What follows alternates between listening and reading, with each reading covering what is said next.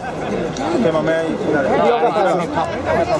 Bro, what did you think? What did you think of the fights tonight? Why? Of the fights tonight? No, the fights were great, man. It's great for boxing. Each one was a war. I mean, who, who would have expected that? I mean, you saw Lucas Matthysse, Argentinian, beat a guy that's a veteran, a lot of championship fights, fought the best, beat a lot of good guys. And uh, you saw as the rounds went, he was stronger, uh, punch harder. Uh, His punches started taking effect, and you know, you saw what he did. I mean, he he beat uh, Humberto La Zorrita Soto, and he's gonna he's a, he's a player at 140 pounds. Lucas Matthysse in a, a division that's full of a lot of talent.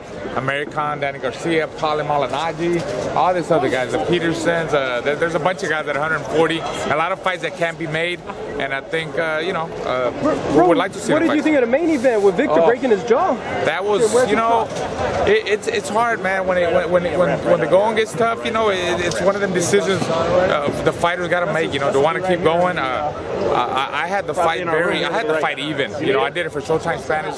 That's just, I I had the fight even at the time of the stoppage. Uh, being that what was on the horizon for Victor Ortiz, you know, you had three rounds, man. I mean, and, and the judges had him ahead pretty comfortably. You know, uh, you know, you could have fought with a broken jaw. I mean, just, it's been done before.